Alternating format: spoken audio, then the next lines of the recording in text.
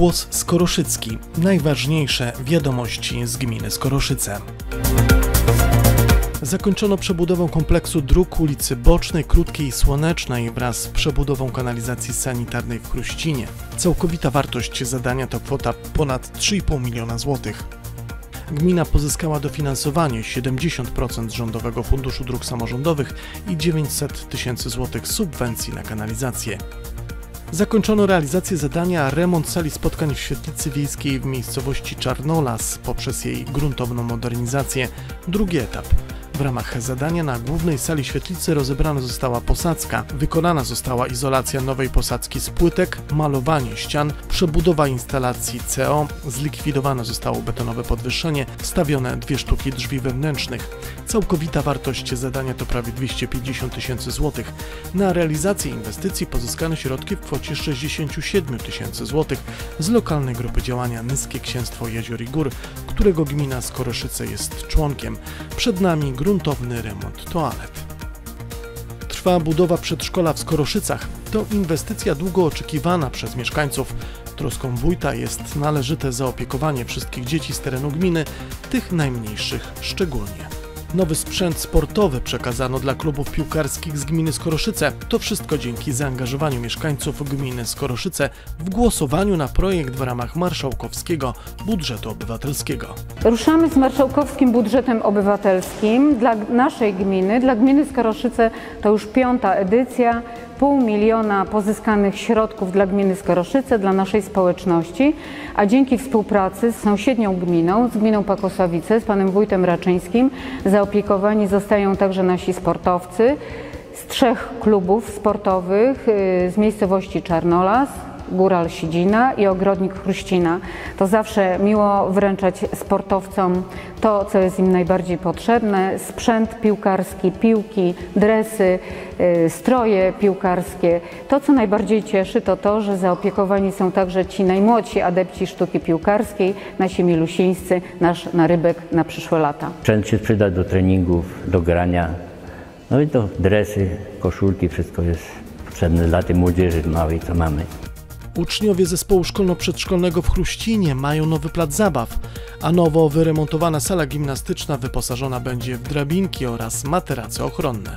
Wójt gminy Skoroszyce Barbara Dybczak podpisała umowę na dofinansowanie do przewozów autobusowych w ramach Funduszu Przewozów Autobusowych o charakterze użyteczności publicznej.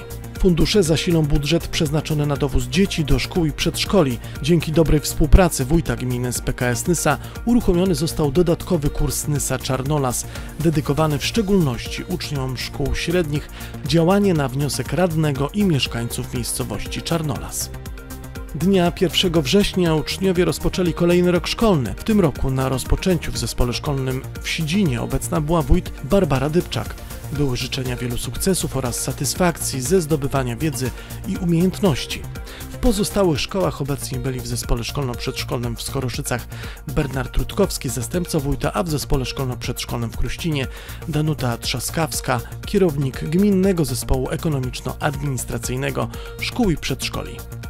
Dzieci z gminy Skoroszyce otrzymały laptopy. Gmina pozyskała przeszło pół miliona złotych z rządowego programu na zakup komputerów dla dzieci byłych pracowników PGR-ów.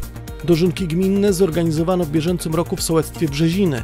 Było dziękczynienie za plony, korowód dożynkowy, pięknie ozdobione posesje, korony żniwne, degustacje potraw regionalnych i doskonała zabawa. Dożynki były finansowane m.in. z projektu polsko-czeskiego i marszałkowskiego budżetu obywatelskiego. To dodatkowe środki finansowe pozyskane do budżetu gminy z przeznaczeniem na integrację mieszkańców. Pięknie zaznaczyliśmy swój udział w korowodzie dożynek wojewódzkich. Towarzyszyła nam muzykująca rodzina państwa Ziętków z Brzezin. Były też nagrody. W kategorii inicjatywa sołecka Wiata w Skoroszycach otrzymała z rąk marszałka wyróżnienie i gratyfikację finansową w kwocie 1500 zł. Dnia 17 września w Starym Grodkowie odbyła się uroczystość z okazji 76. rocznicy mordu żołnierzy oddziału Bartka. Licznie przybyły z Żywieczczyzny rodziny pomordowanych żołnierzy, przedstawiciele władzy rządowej i samorządowej, wojsko, służby mundurowe, poczty sztandarowe, stowarzyszenia, grupy rekonstrukcyjne, okoliczna ludność, zwłaszcza mieszkańcy Starego Grodkowa. W intencji pomordowanych odprawiona została msza święta, odczytano apel poległych, złożono kwiaty i oddano salwę honorową. Wójt gminy Skoroszyce Barbara Dybczak uczestniczyła w zebraniach wiejskich zorganizowanych w każdym z dziesięciu sołectw gminy Brzeziny, Chruścinie, miejscowości Czarnolas, w Makowicach, w miejscowości Pniewie, w Sidzinie, Skoroszycach i Starym Grodkowie. Wrzesień, jak co roku, jest miesiącem spotkań wójta z mieszkańcami gminy celem poznania oczekiwań mieszkańców względem kierunków rozwoju gminy. Festyn charytatywny Weekend dla Krysi zorganizowano w Skoroszycach. Fundusze przeznaczone zostaną na rehabilitację Krysi, która uległa wypadkowi 4 marca, przechodząc przez pasy na drodze wojewódzkiej. Wójt gminy Barbara Dybczak wystąpiła do zarządcy Urzędu Marszałkowskiego o montaż świateł dla poprawienia bezpieczeństwa mieszkańców. Klub sportowy Plon Skoroszyce znowu działa. Zgodnie z zapowiedziami medialnymi wójt gminy Skoroszyce Barbary Dybczak zawiązała się drużyna piłkarska w Skoroszycach. Podpisanie umowy nastąpiło 26 sierpnia. Tym roku po raz pierwszy ogłoszono konkurs na najbardziej zadbane sołectwo w gminie Skoroszyce, do którego przystąpiło 7 sołectw. Miejsce trzecie egzekwo Chruścina i Czarnolas, drugie miejsce Brzeziny i laur zwycięstwa zasłużenie przypadł Staremu Grodkowowi. Pozostałe sołectwa otrzymały wyróżnienia. Cieszy, że zmienia się wizerunek naszych sołectw na lepsze, a większości mieszkańców zależy na tym, jak żyją i gdzie żyją.